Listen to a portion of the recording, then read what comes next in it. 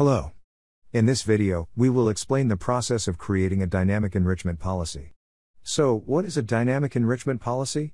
A dynamic enrichment policy enables you to enrich event data by using an external file. This policy is very useful when you want to perform enrichment based on multiple if and then scenarios. To create this policy, first you import an external file. Then you match certain values in the file. And based on the matched values, you enrich certain values. An incoming event that matches the event selection criteria goes through this workflow for the purpose of enrichment. We'll look at each of these steps in detail. Let's start creating the policy. Go to the Configuration menu. Then click Event Policies. And then click Create. We'll complete some basic policy information. And we'll leave the precedence value unchanged for now. Before we specify the event selection criteria, we must understand what it means.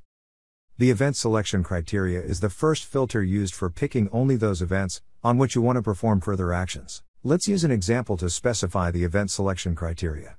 Suppose you are an IT company, and you are planning to assign all the open events to the appropriate owners. Based on this example, let's build the condition. First, let's specify the class to get all the events associated with the monitor event class. And then, specify the status. Done. The green tick mark indicates a valid syntax. And now let's select the policy type. The dynamic enrichment policy is an extension of the advanced enrichment policy. Therefore, we'll select advanced enrichment. And then, click dynamic enrichment. Here, you see the dynamic enrichment policy workflow. Unlike the traditional advanced enrichment policy workflow, this workflow is fixed. You can go to the next step only after you specify all the mandatory information in the current step. Our first step is to import an external file. For the purpose of this demo, we have already created a file.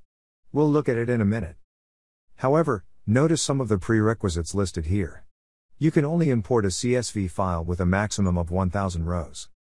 Before looking at the file, Let's review the data requirements from our example. We already defined a condition to process all the open events. Now, we want to enrich the event owner, based on the event severity, and the location. For this use case, we have already created a CSV file with the appropriate details. For ease of understanding, we have created this file in Microsoft Excel. However, you can create this file in any other way. If you are using a text editor, you can specify a comma separated list of values. Now, let's study the data. You will notice that the set of values in column A consistently represent the event severity. Then, values in column B represent the location. And lastly, values in column C represent the owner information, the person to whom the event would be assigned.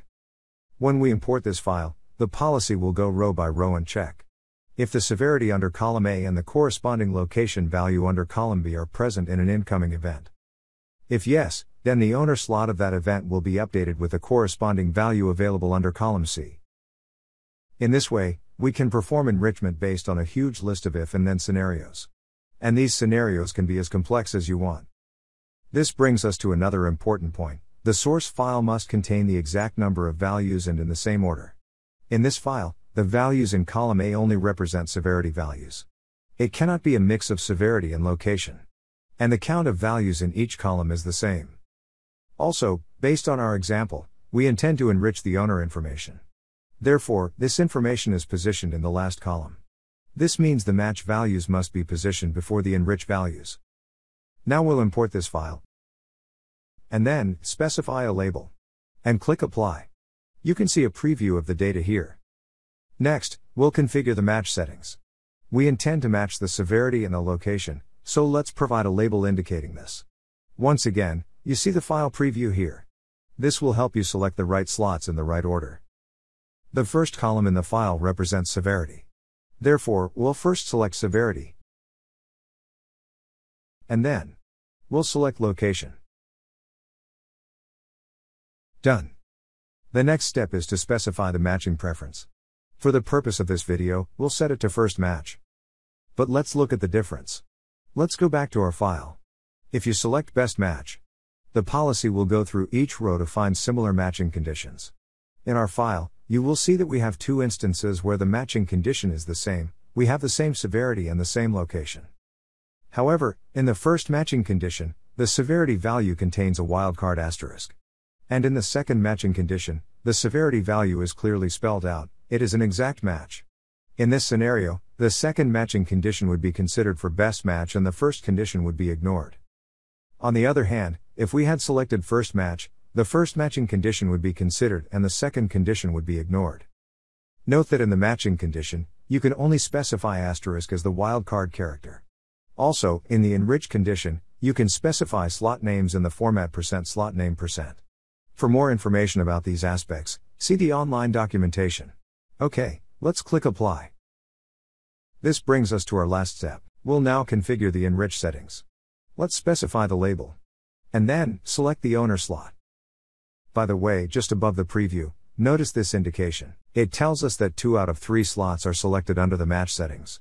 Based on our example, we are using two columns for matching and one column for enriching. Therefore, we cannot have more than 3 columns or more than 3 sets of values in the file. Okay, now let's click Apply. And then click Save. Under Policy Configuration, you see a preview of the conditions specified. Now, we'll enable the policy, and then click Save you can see that our policy is created. Now you know how to create a dynamic enrichment policy. That brings us to the end of our video. Thanks for watching.